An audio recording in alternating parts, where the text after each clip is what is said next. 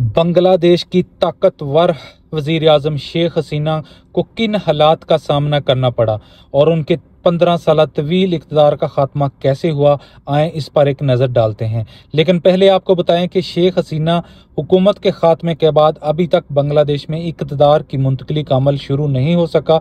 सियासी बहरान वैसे कब वैसा है? और तलबा तरीक अपने एक के बाद एक मुतालबात मनवा रही है।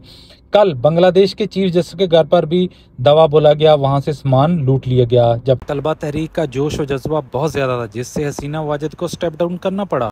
तलबा शेख हसीना के घर पहुँच गए और जो मिला लेके चल दी तलबा तहरीक ने मुतालबा किया था कि मुल्क की वजी शेख हसीना इस्तीफा दे और फिर ऐसा हुआ शेख हसीना ने इस्तीफा दे दिया, फिर उन्होंने कहा कि तीन बजे तक मुल्क की पार्लियामेंट तहलील कर दी जाए, वरना सख्त रद्दमल दिया जाएगा। तो डेड लाइन खत्म होने से पहले ही बांग्लादेश के सदर ने पार्लियामेंट तहलील कर दी। तलबा तहरीक ने कहा कि 24 घंटे के अंदर नोबल इनाम याफ्ता डॉक्टर मोहम्मद यूनुस को बांग्लादेश का अबूरी हुकूमत चीफ एडवाइजर बनने की पेशकश की, जिस पर उन्होंने रजामंदी ज़ाहिर कर दी।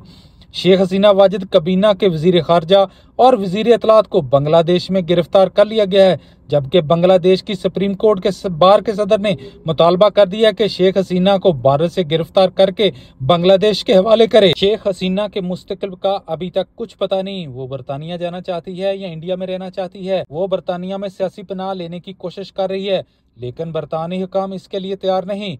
मीडिया के मुताबिक शेख हसीना बरतानिया में सियासी पनाह लेना चाह रही है, जहाँ इनकी बहन और बांजी रहती है।